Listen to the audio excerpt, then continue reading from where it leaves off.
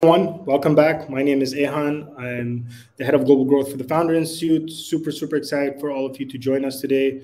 Uh, we have these global events usually on Wednesdays, sometimes on Mondays. We just get really good speakers and let them come and uh, present some their knowledge and learnings.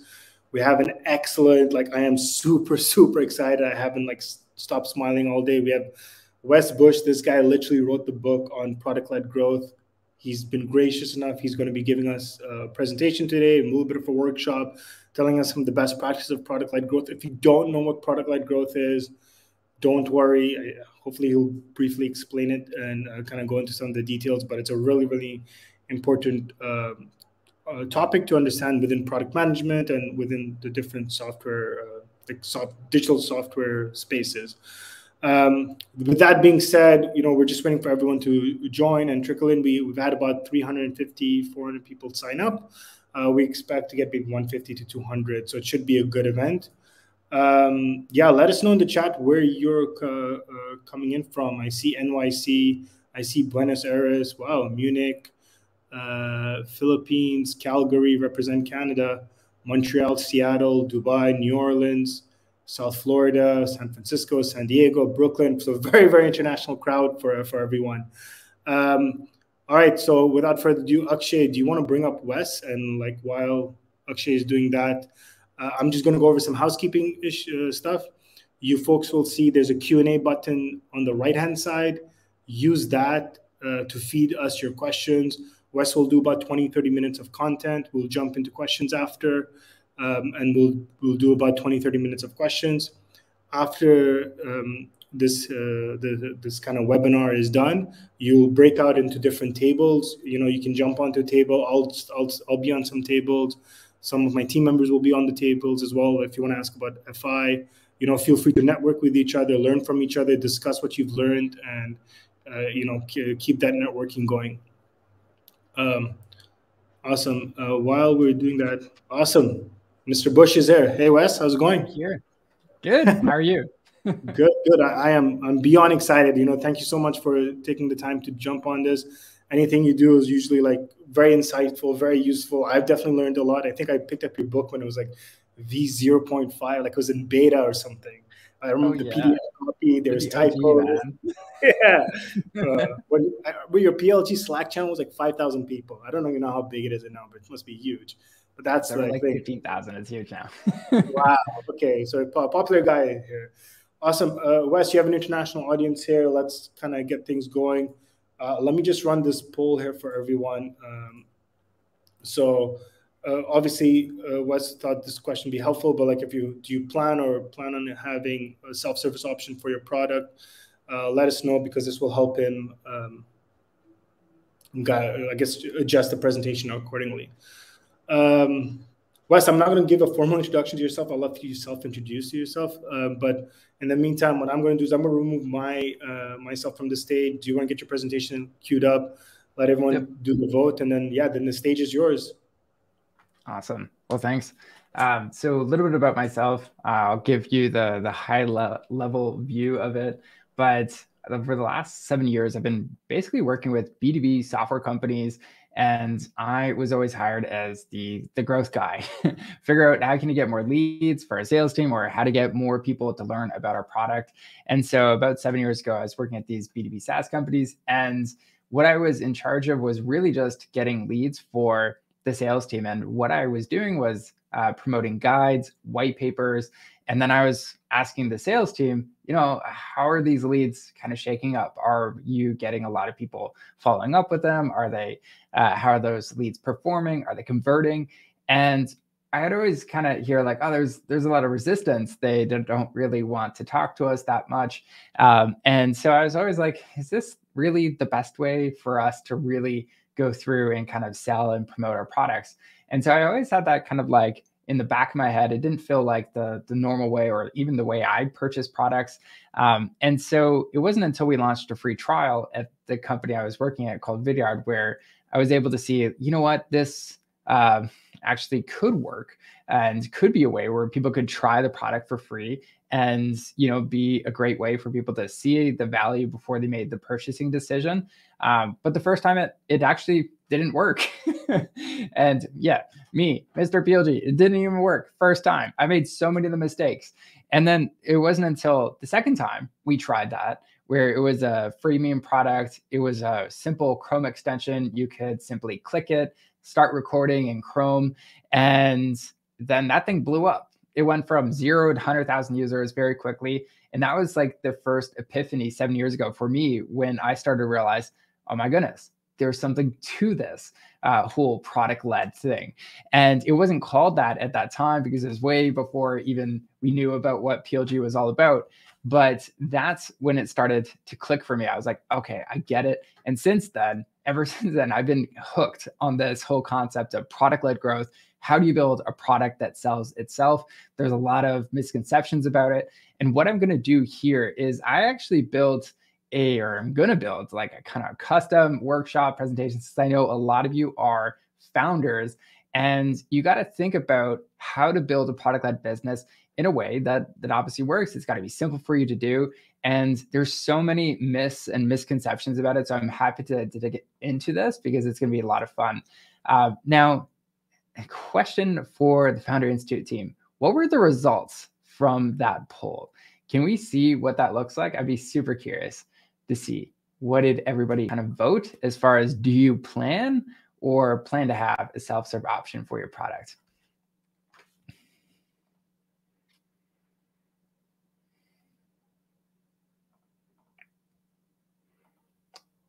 And do you have the results from it yet? Yeah, I threw it up on screen. It's uh, about 88% of the audience so far. Uh, okay. Awesome. They plan to have a self serve or they currently have a self service option. Cool. Thanks for jumping in there. I still see my end the uh, question. I'm like, okay. Fun. All right. Cool. So I'm going to share my screen and we're going to go through this live and we're going to have a ton of fun. So there's five things we're going to go through today. Uh, this is the what I call the five best practices for building a product-led business. So the very first thing we're going to go through is understanding what it really means to be product-led. And then next we're going to go through like what actually changes. If we become product-led, what are some of the big organizational changes we need to make as a business? And then we're also going to go through uh, why does this matter? What should we consider about it? And then I'm going to go through some very tactical things you could do to actually make it work. We're going to go through the six main steps of how do you actually implement, roll out a successful product led business. Even if you already have rolled it out, there are some really big core things that if you don't get right, your model just won't work. You won't get your users turning into happy paying customers, basically. And so I'll just end on the two big mistakes you really need to avoid. Um, so if that sounds good, thumbs up. I'm excited. Let's dig into the very first thing. So, know what it really means to be product led. So, a lot of times when I talk to folks regarding this question, um, there's a lot of different definitions. So, I want to hear your definition uh, in the chat. What do you think it means to be product led? Like, what first comes to mind for you? Um, I know this, is always fun because there's so many different definitions. And don't worry in the chat if you're like, ah, I'm not sure if this is right or not. Just just put it here. Yeah, Rob, thanks for jumping in there. You win the award for first. Uh, so no sales team, um, all focus on the product, 80% at least. Cody, product sales itself, don't need an outbound sales team um, product is driving the pipeline. It just means you have a good product uh, design. Let the product drive the sales, not the salesperson. Uh, marketing built into the product. Product is the CEO. Awesome. So I love it. Thank you, everybody, for jumping in there. If you haven't already, just quick type it in. Um, so what I'm going to try and do is get everybody on the same page about what I believe, I think it means to be product led and what are some of the big things and impacts it means for your business. So product led growth, if we were to define it in simple terms, product growth is simply when you use your product as the main vehicle to acquire, engage, and retain users. So at a high level, that's really all it is. That's it. It's just getting those people to uh, or using your product to acquire, engage, and retain users. And I think this part is kind of understated when you think about it. It's like, okay, what does it mean to actually acquire people? Well, that's where we see the free trial freemium models, where it's like, okay, uh, the product is doing a lot of the acquisition. Uh, when it comes to the engage part, what do we mean by that? So when it comes to someone actually signing up for that free model, well, when they go into the product, the product is actually onboarding people. It's actually helping people see the value. It's showing them, okay, go here, go there, see the value of the product, check done. Okay, great. So it engages people as well. Um, and then for the retention, it's really focusing on that. And it's also doing a great job in expanding users as well when it comes to oh upsells. These users are very uh, effective at using the product. Maybe they would find this other part of the product useful. And so you can also use the product to upsell. So that's really when i think of like product led growth and being product led um, at its core it's is really using your product throughout your entire business. So it's more than a free trial, it's more than a freemium model. Now, when it comes to really being product led as a business, there's one big shift that you need to make as a business. And that's why I got this fancy little, I don't know, what do you call this? Hexagon? so, when it comes to the two main kinds of go to market strategies, uh, I'll just start with this one sales led. Fun, right? Okay, so I always like to compare and contrast sales led and then product led. Um, but do know this the reason I do that is so you can paint two pictures. Um, but there's like a spectrum here. It's like product led, sales led. It's not just black and white. Um, so when it comes to a sales led business, if we were to say the fundamentals of business have not changed when it comes to being product led or sales led, the fundamentals of business are the same do we agree? You still have to acquire people to your website, regardless of if you're sales led or product led. You still need to engage people, uh, show them the value of the product, and you still need to retain them, of course, if you're going to have a sustainable business. And so, if we look at this and we say, all right, a sales led business, you need to acquire people. All right, so we got that. You still got that component of your business. Next up, what usually happens in a lot of sales led companies is once you acquire somebody, the next thing you got to start doing is you got to focus on this fancy thing called monetization, uh, which is a fancy word for saying make money. All right, great. So you got monetize, um, acquire, monetize, and then the next part of a sales led business, once you monetize them, uh, anybody in the chat, take a guess what is the kind of the next step in a sales led business? You acquire them, you monetize them. Yeah, are. Retain is pretty close. Um, the reason I'm going to use engage or retain, you basically got that. You're going to like engage slash retain people. Um, but I'm just going to use engage for this one to keep it simple. But you're all on this right part. Yeah, the service, Rob as well, renewal. Uh, basically, keep them happy, show them the value of the product. Um, that's what you're going to do. So when it comes to this difference between a sales led and a product led company, what do you think is the main difference? If these three elements are the same, what changes? All right, you got to help me out in the chat. What is this? What is the big kind of shift here? Yeah, it's, it's not a person doing it. Um, yet, engage before acquire. Interesting. Engages first swap, monetize, and engage. Jose, yes, you got it. Yes, the order changes. Uh, so the reason I see in the comments, um, there is some people thinking engage goes here and then it's acquire. The reason it's more like this is because you still have to get people to your website. Um, there's no way avoiding that part. But what really changes is we need to prioritize the engagement part. And what's what I've realized, and back to my story that I kind of introduced myself with, hey, you know what? I did this sales led thing for a long time, and then we had a free trial, it bombed, uh, and then the free version worked, the reason I, I kind of start with that is because the very first version where we just had a free trial, we didn't do that much work to make it good at this, which was the engagement part. And so in that first free edition of our free trial, uh, it was a video hosting analytics platform. And basically, although we thought we were being product led, we had a free trial. What was basically happening is this. we had a free trial here. Uh, that's basically where this magical free trial was. Um, but what why it wasn't working is because well okay we acquired people we dumped them into the free trial and they had 14 days to do a bunch of things they had to upload their video uh, they had to put their video on their website. They had to integrate their video with their marketing automation platform. And then beyond that, they had to finally look at the analytics. And then they could see, oh my goodness, Maria, you watched my video. And how awesome is that? That was the aha moment for that product. And in 14 days, that was very hard to do. And so we just kind of jump from acquire to monetize. And what happens is the sales team started looking at those free trial folks, said, wow, that product team doesn't know what they're doing. Let's go in and save those users. And they started, once again, just kind of treating this free trial as a way to monetize. We had not fully embraced Engage before. And so I want to ask you a question.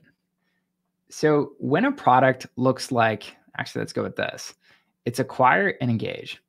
Uh, let's say you download an app on your phone or something like that. Um, that app, it's really hard to get to value. What do you typically do when you download that app? You can't get to value. Put it in the chat. I want to know what is the first thing you do whenever that happens. I'm sure this one will be quick. First thing, yeah, delete it. Find a replacement. Delete. Forget it. Yeah, totally and you're not mean. but you're acting like it. You're uninstalling, you're deleting it, you're getting it, you're looking for alternatives. And if I was just looking at your responses, I'd say you're pretty ruthless. no value, no time. And it's not that you're mean or anything. That's just how we are, how we work. When we can't get the value, we just say, forget it. All right, I can find a better alternative here. So when it comes to being product led, you need to have a really great way to engage people. And when you do, that is truly when your product is able to sell itself.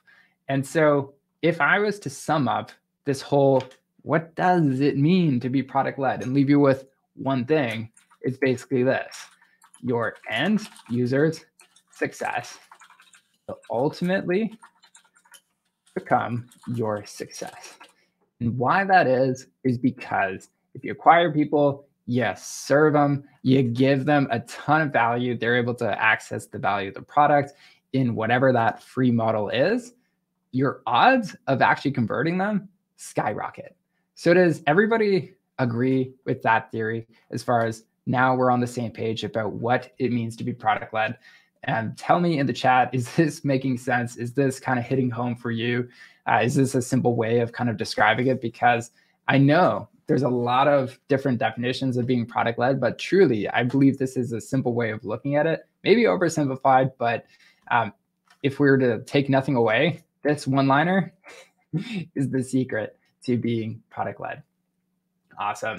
So thank you everybody for engaging. Got a nice square there. Cool. So what changes. This is the second part. In the chat, what do you think changes? We made one big change. This is all we changed. We basically went from here having acquire, that's still the same, and then monetize. We had that part, and then we had engage. So there's one big change. What do you think this this changes in your business uh, if you were to implement it? I just wanted to share in the chat. I'll write down some of the options. We're going to kind of create this together because there's so many things here that changes uh, whenever it comes to making this one shift of prioritizing engagement over the acquisition side of things. So type in the chat, what are some of those first things that come to mind? Um, and then we can go through those things.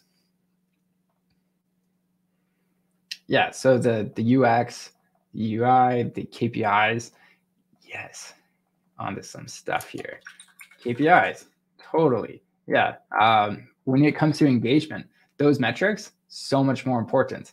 Um, you really do have to align them with user success milestones, talking to customers, um, org chart. Yes, totally measuring engagement. Um, absolutely. Um, I'll jump in with a couple here too. So your funnel, that thing changes. um, so a lot of companies before it's like MQLs. Um, now it's more like PQLs. Yay, people are getting value in the product. Back to the metrics part. Um, those are super important. Measuring product behavior to understand friction points, where and when a user starts paying, delivering value before getting paid, trial to customer. Yes. So those things are all very important. Um, but here's the thing this is kind of like an iceberg. And it seems like it's one small shift, right? It's just prioritizing engagement. But here's where I try and push this further. I try and say, actually, it's much more than that. Um, it's also your mission of your company. It can also impact your vision of your company. Now, when you think about it, it's like, well, okay, let's look at the, the most popular uh, about pages of some of the most successful product led companies. What do you typically see? It's, well, okay, we want to make uh, what we're doing, let's say Zoom, we want to make communication frictionless. Okay, great. Like that's making it accessible. That's making it easy for anybody to really experience the value of the product. Um, that's making the price of it also accessible. And so it impacts a lot of things from the vision to the mission.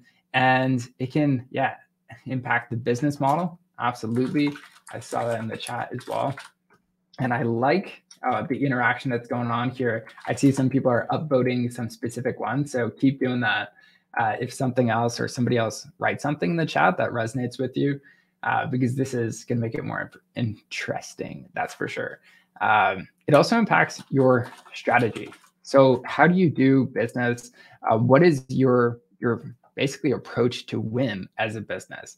Um, companies that prioritize engagement before monetization um, part of their strategy is okay let's make it effortless for people to get to value. Let's make it super easy. Because we make it effortless for anybody to get anybody to get to value uh, we can really go after more of a dominant approach uh, to building our business. Whereas something more sales led might be you know what this is more a differentiated kind of strategy as a business. We might actually go after fewer customers that are bigger uh, but we're going to do something a bit more complex for them. So maybe if that's your approach, sales led is is actually the right approach. Um, but if it's not, then it could be more product led. So those are some of the big things of what changes. Um, just going through my list here. So I think that makes the most sense um, as far as where we can leave off on there. So know what changes. It's KPIs, your org chart, it's your funnel, it's your mission, vision, business model, it's your strategy. At a high level, those are some of the big things that changes. Um, now, why does this matter? I want to hear your take. So, this whole big shift to being product led, what are some of the big reasons why you think it matters?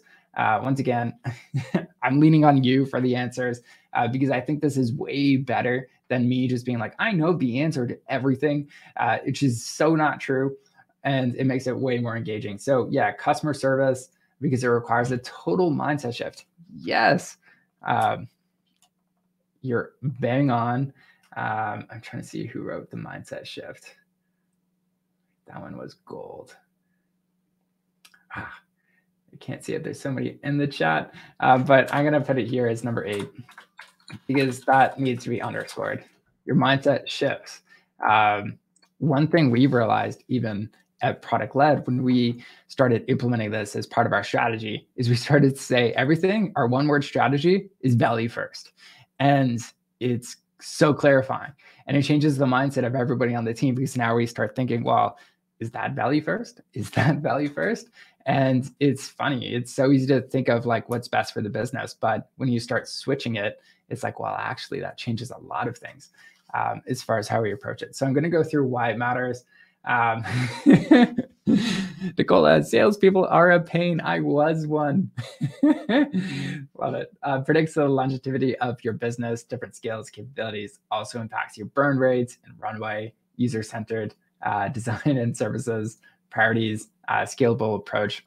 Yes. So there's so many big things um, that I could list here. A lot of them are like, basically, I could sum it up as build a quote unquote better business that's more sustainable.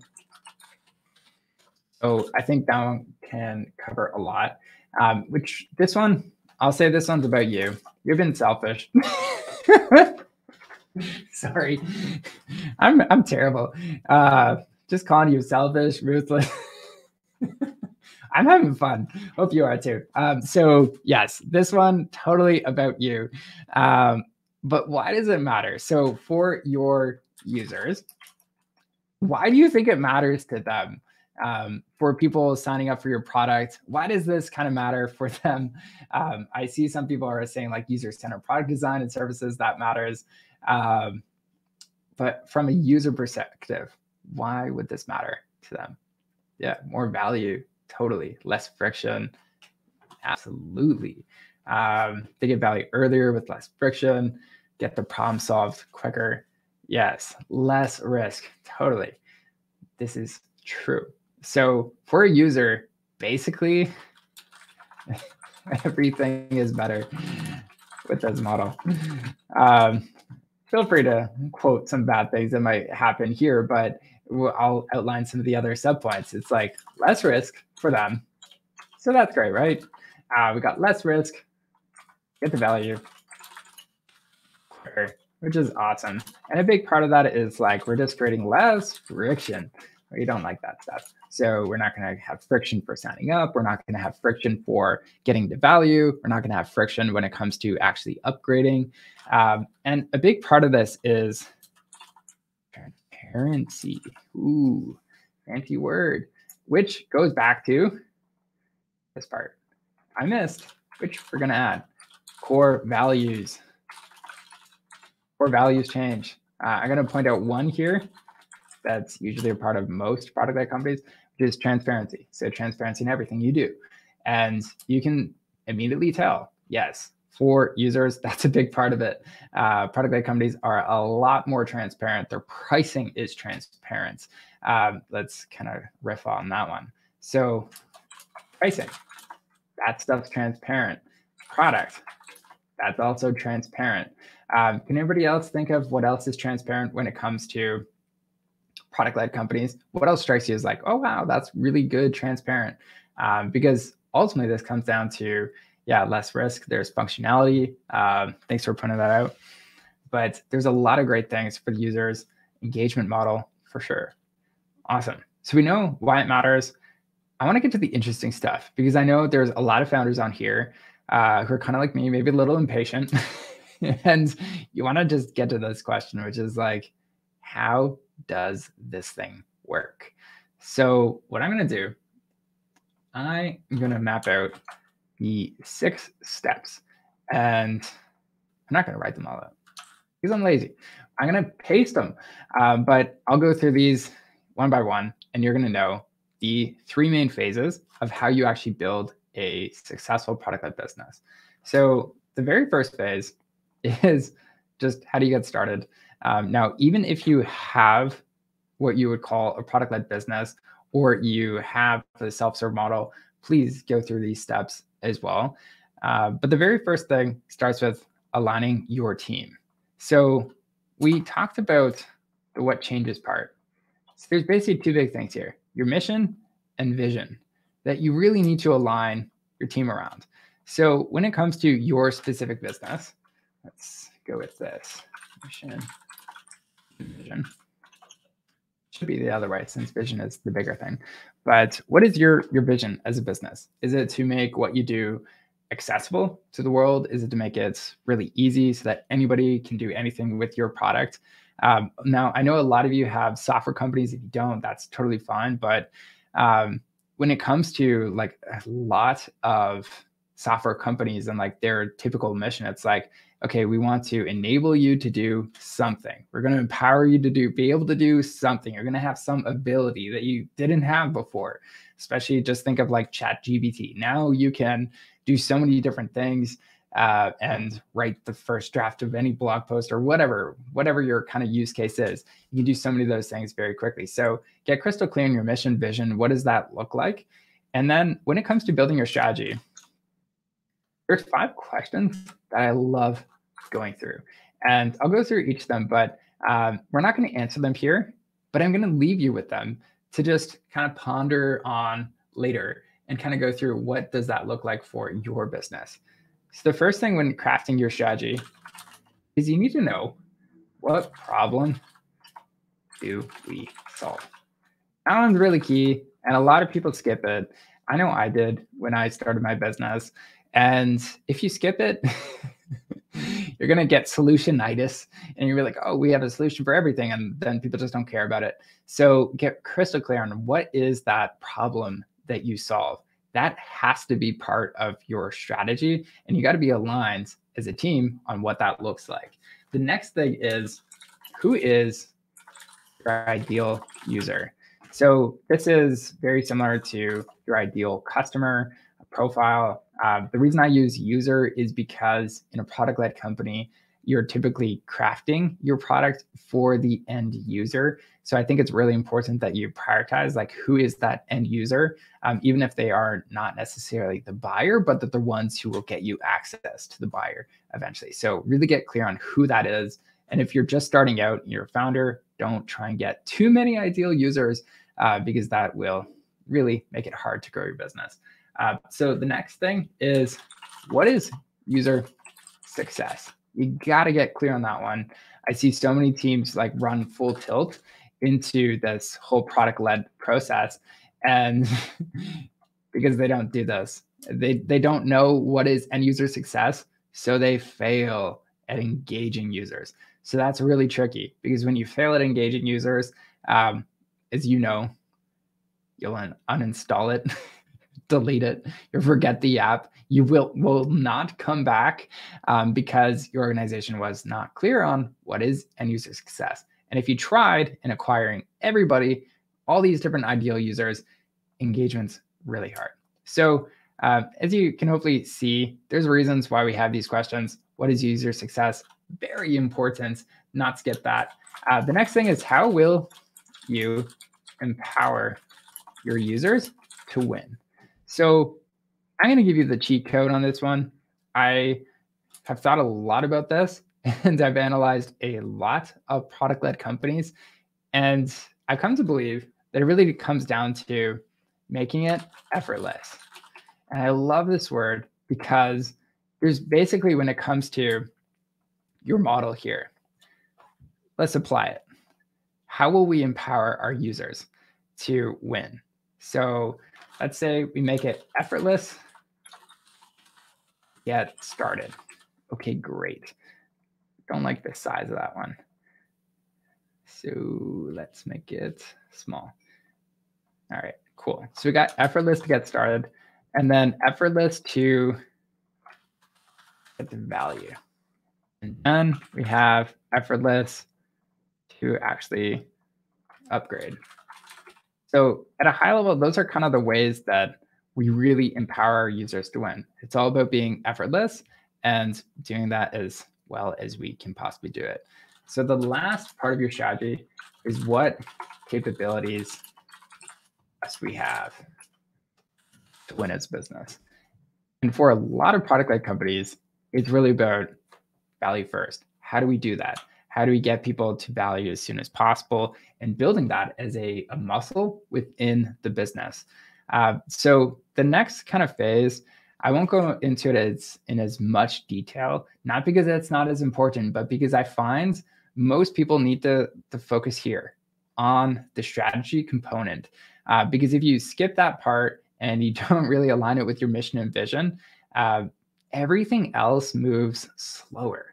It's really weird. Like if you don't have a, a very clear strategy, very clear mission and vision, uh, what ends up happening is when you get to the build phase, it just feels like you're going through like mud, walking through mud because you're you're not clear on who your ideal uh, user and customer is. Uh, you don't know like what to give away for free. What does that user value? Uh, you don't actually have a compelling free offer or anything like that. But um, that's kind of the main reason. So if you're to build this, you got to get super clear on who your user is. What is their job to be done? How do you really help them? And then the next thing is really designing your model. So what do you give away for free? Um, how do you package that?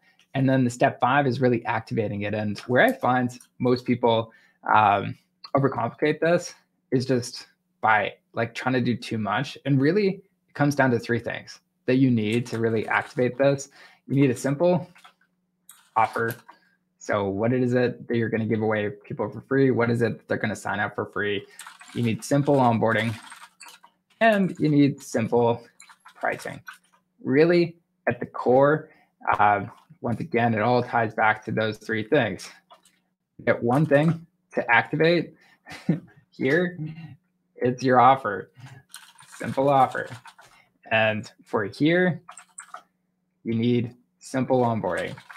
That's how you're going to get people to engage. And then for here, it's the simple pricing. It's really going to have that profound impact of making it easy for people to really understand and make that decision if this is right for them.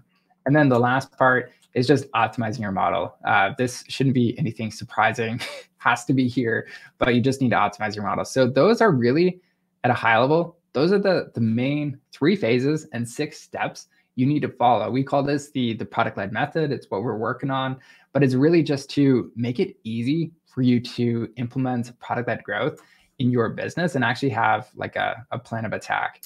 Uh, now, as I, I wrap up here, I know we want to get to, to Q&A and that's the fun stuff.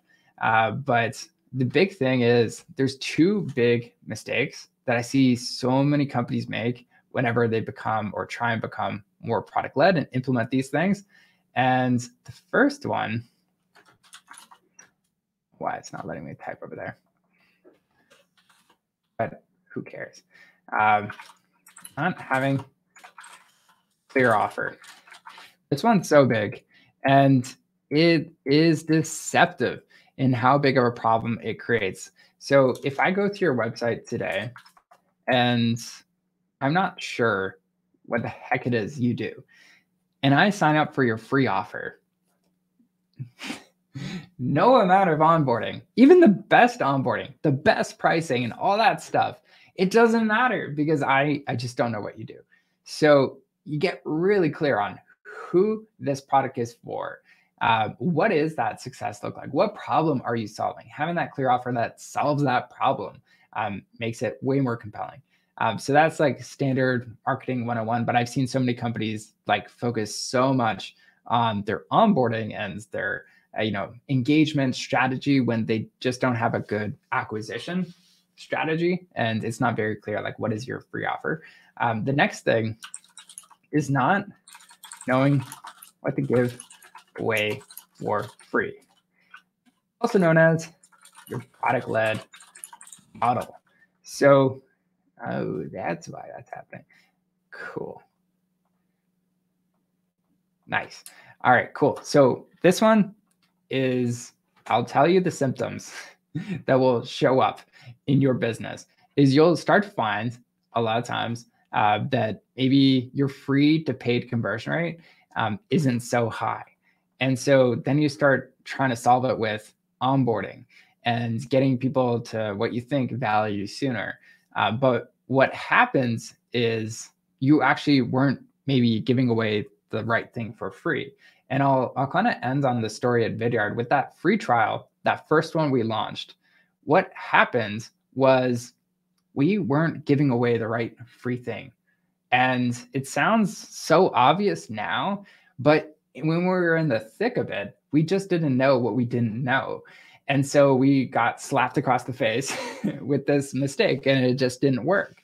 And so what happened in that case is our, our initial product was solving very kind of complex problems. And people had these beginner problems, which was before they could upload a video to Vidyard, they needed to actually create a video. And so when we solved that and we gave that away for free, that's when the floodgates of users opened up. That's when we were able to step on the hyper growth pedal and grow faster. And so, um, really understanding what to give away for free is such an important concept. And that's one of the reasons why, like at productled.com, that's why we focus so much in our programs. Like, here's how to understand what to give away for free because it is so important to focus in on. So, um, to really wrap up here, I'll go over the five main steps of what we covered for the best practices. And this is kind of the, the 80 20 of how to build that product led business. One, get on the same page on what it really means to be product led. I'd encourage you to actually do this with your team uh, because it's it's so important that you're on the same page of what that actually means. Just like in the chat, we're all on different perspectives. Um, and then get clear, like what changes in your business. Uh, what are some of those big changes? And then know why it matters. So, what is your compelling why? Why are you doing this? If you're changing your approach, this is even more important because uh, you got to have some compelling reasons beyond just it's it's about us. it's about your users. That's part of the mindset shift to being product led. Um, and then four, know how it works. What are some of the big meaty things you need to do? Use that three phase process. Um, and then lastly, know some of the big mistakes to avoid. So that's a recap for today. Um, I hope you found that this workshop was helpful. You learned something in the chat, actually, since I'm always curious uh, to kick off the first question for the QA. What was your biggest takeaway from this workshop? I want to know in the chat, so just drop it there and we'll uh, go through the rest of the QA session.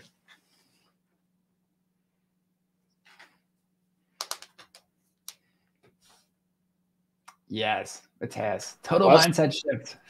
yeah, uh, this is great. Thanks so much, folks. If you enjoyed Wes's, I've learned a lot. I've, pro- I've, probably read his book twice, but you know, as you go through those frameworks in real time, Wes, I think this is a very interesting format. We've done quite a bit of these. I think this is the first time we had someone go through that structure like on Figma. So appreciate you doing that. Uh, let's kick off questions. So folks if you jump over to the q&a tab we're going to do some questions there. Please upvote the ones that you think are uh, the most relevant. We'll be able, let's do about 10 15 minutes of questions and then go from there. So wes i'm going to queue this up for you. Um, b2b saas healthcare. Can you use plg as go-to-market bill from san francisco's asking? Cool. Yeah, great question. um, I'll give you a healthcare analogy to think about this one. So if your tech is something like the equivalent of a heart transplant, like if you took out this product, like it would kill the patient or something like that, like or kill the business, like they would have all these loose records and all that stuff. If that's kind of like the tech you're building where it's like very central, needs to kind of be top down installed, um, that's actually something where I'd be like, okay, red flag as far as like being your uh, go to market motion. Um, but here's the thing I've also seen a lot of healthcare companies uh, navigate this in a really great way that is still, in my degree, uh, product led, although it's uh, maybe might not come across that way from the initial kind of onset. But in your kind of sales process, you just really get people to go through that free version of the product. You have a free pilot, you set it up. And there is ways to really give people that taste an understanding of what is this protocol about? Um, how can it really help me without necessarily having like a fully self-serve, touchless, free experience? Um, so that's something to, to consider is it doesn't always have to be black and white, like completely 100% self-serve, um, but there is different um, ways you could approach it so that um, you're not kind of like I mean, that person rolling it out is doing their own due diligence and they can understand, like, check done. This this will help us and kind of move forward. But great question. Awesome, thanks. I'm, let's just quickly burn through these. Uh, if I have anything additional, I'll add to it. But um, Francois from Joburg is asking, you know, what's your perspective on pricing when you're doing PLG and self-service?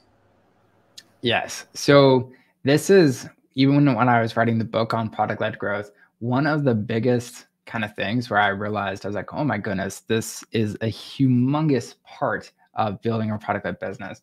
And it all kind of comes down to that uh, drawing I was kind of going through here, which is like monetize.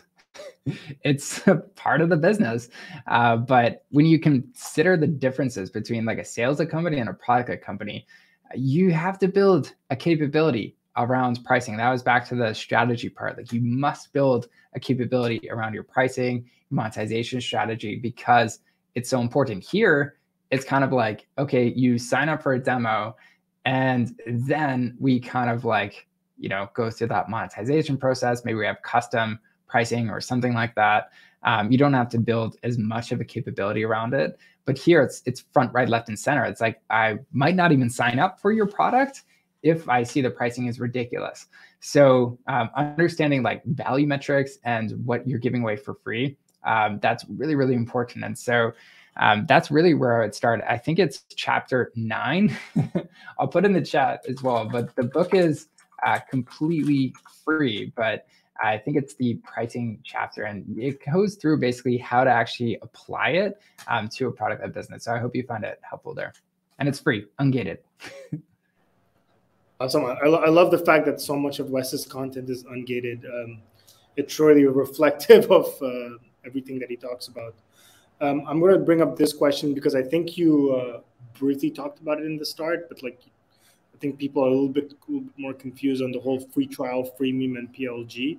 If you want to like elaborate a little bit, I think that could be helpful, specifically in this case for June. Yeah, no, absolutely. So, um, June, great question. Um, I think this like talks a lot about the parts around like the strategy, the mission, the vision, um, and those other components that do change. So when it comes to like what those were, it really was like you know what, your KPIs would change. Like there is the go to market side of things as far as like that motion. Um, there's also how do we organize our team uh, around even this acquire, engage, monetize. Um, so that's really important to also consider, regardless of if you're B2B or B2C. Um, this one you obviously know uh, since it's pretty similar, but um, these are kind of the big ones.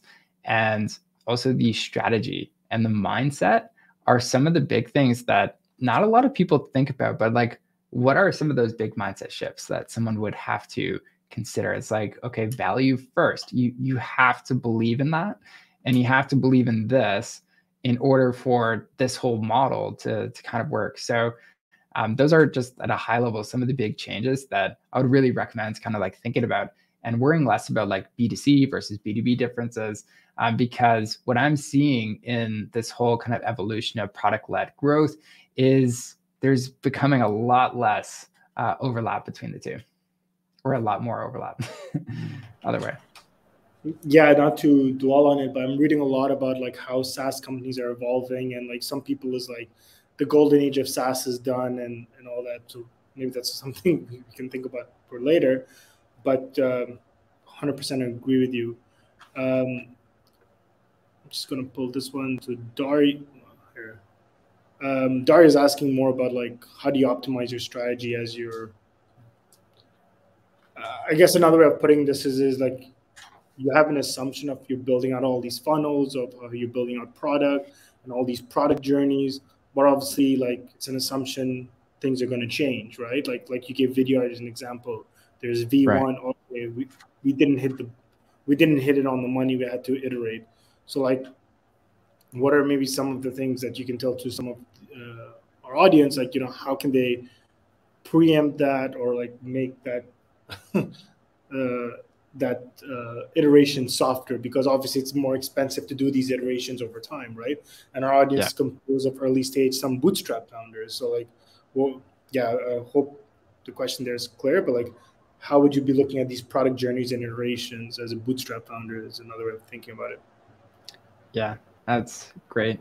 Um, so whenever it comes to this part, I always like to kind of like take a step back and look at like what are the first principles here? Like what are the things that aren't going to change? And when I look at like different industries and like okay, let's look at like the AI macro trends. Let's look at the uh, low code, no code tool movement. Let's look at like PLG, uh, product growth, all these things. Like what do they have in common? Like, there is there anything like they're all kind of seemingly different but it's like what do they have in common it's like people want their value faster okay great uh, we can take that and say is that going to change? Is that like, are people still going to want that in the next 10, 20, 30 years? Yeah. The, like the amount of tools and stuff we're going to be able to do in the next 10 years is crazy. Uh, and it's going to be way faster to do everything we're doing currently. And so it's just like, if we can understand the problem that people are trying to solve and get crystal clear on that problem, and then everything else becomes easier. And that's why I include that as like one of the questions as part of the strategy. And it's the first one actually, because I find a lot of uh, leadership teams and early stage teams just don't get crystal clear on what that looks like. Because when you're clear on that, it's like, okay, people struggle with this problem. How do we get there? and what are some of the ways we could get people there faster and so um, that's really the the i mean maybe it's a roundabout way of answering that question but i really just wanted to understate it because i think it's it's so important and it's easy to miss um, but just get clear on the problem and then craft that solution around it to, to solve that problem as fast as possible i think that was a really good response i'm going to throw you a nice one I, I really enjoy I like this question how do you scale PLG? Is this a marketing thing or is this, I would say, a referral mechanism? I guess that's also marketing, but it, I, I, I don't think I, have studied your content quite a bit, but like I don't think you've ever taught. Like I have not come across about the scalability portion, and I think this is right. a very interesting kind of question. So, like, what's your thoughts on this? Yeah, no, it's awesome question, Alice. So when it comes to scaling it, there's a lot of different ways you could approach it and it is not the same as you would consider like okay the sales led model is you would hire more salespeople and for every salesperson they have a specific quota and then you hire a manager you kind of grow uh, more linear based on that. Uh, so scaling a product led company is actually this is back to one of the the benefits of it too is it doesn't have to rely as much on people so if let's say your uh, product led model is converting, let's say, a thousand signups per month or something like that, and you have a growth squad focusing on your free to paid conversion rate, and you realize it's only at like two to three percent, and your goal is to get it to five percent. So like you might only get one percent in like a month or two or a full quarter of a sprint, you get it up to 5% or something like that. Um, and that growth compounds. And that's because your product is is doing a lot of that heavy lifting that adds a lot of efficiency as well. And so as you kind of scale up, you might realize like, okay, great, we got 5% conversion rate. Now our other problems are or our highest leverage point is we just need more people going through this product. It's acquisition related. And so um, it's definitely not as linear or as to think about like a sales led model versus a product led one.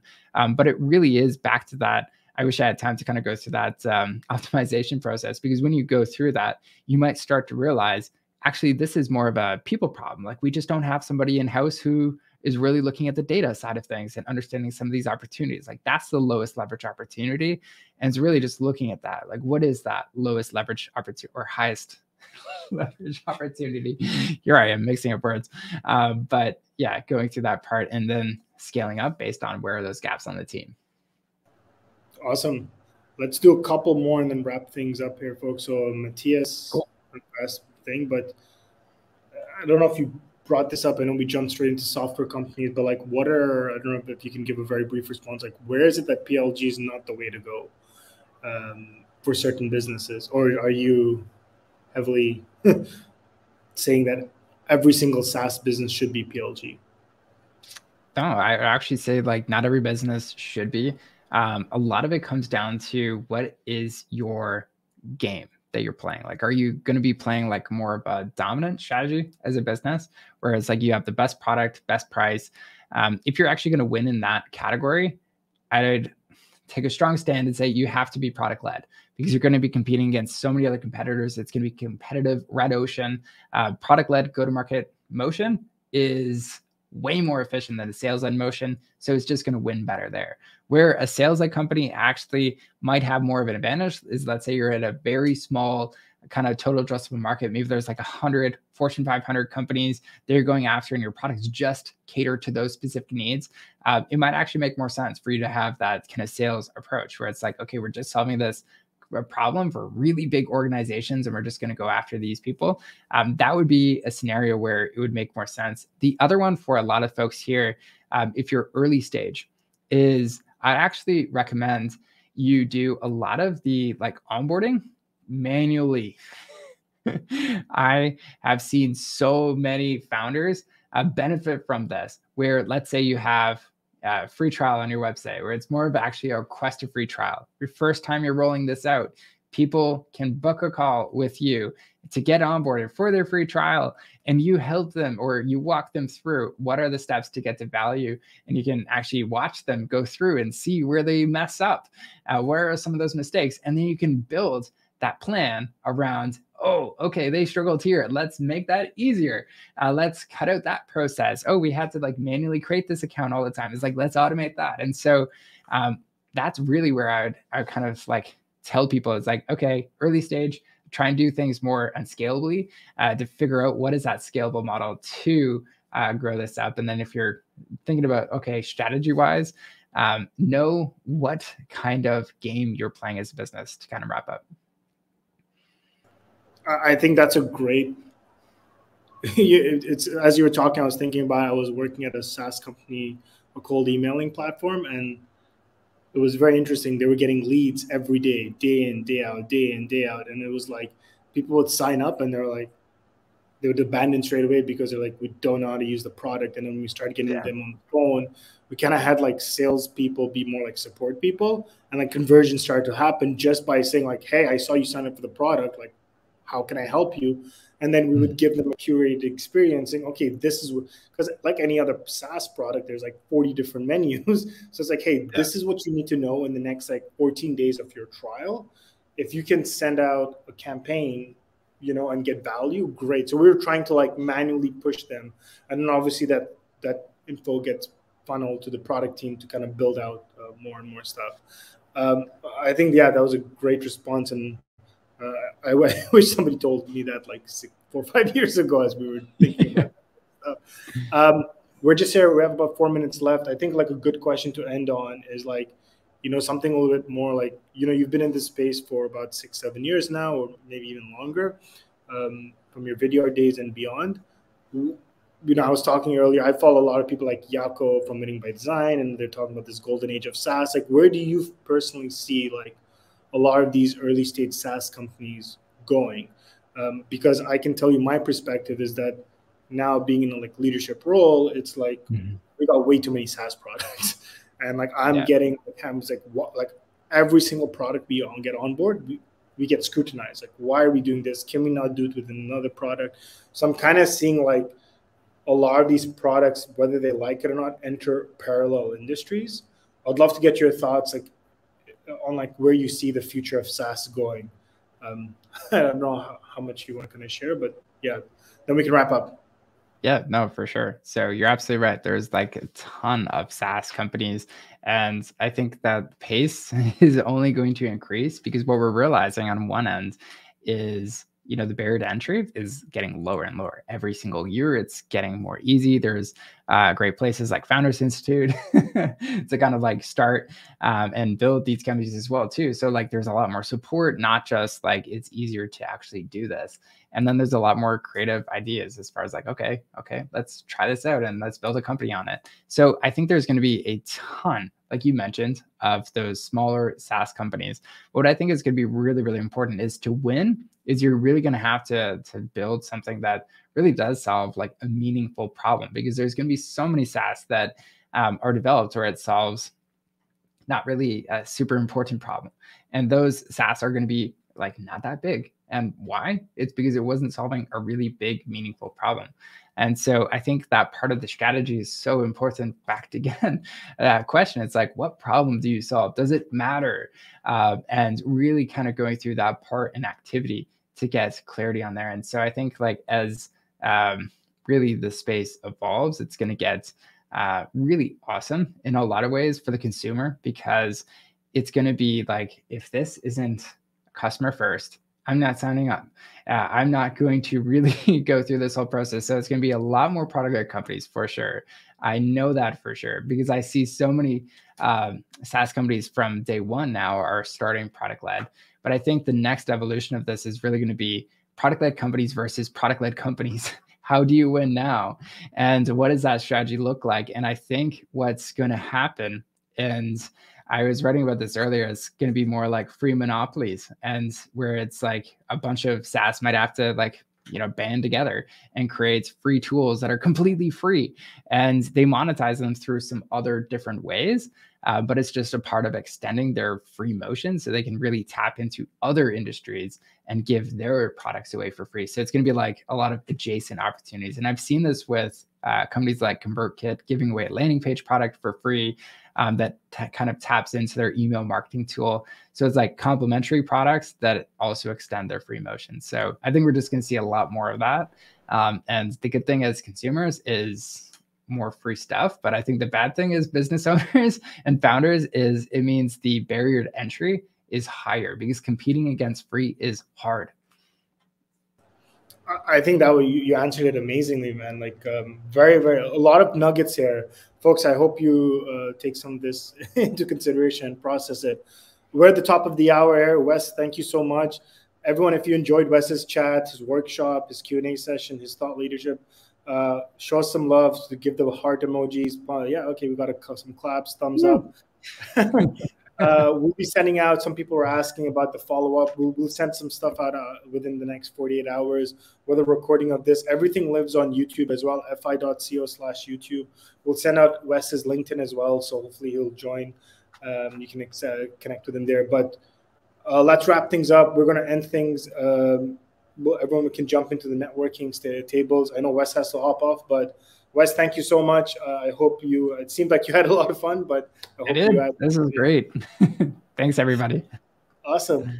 Well, well, we'll wrap things up. Uh, thanks, everyone. We'll see you in the networking session.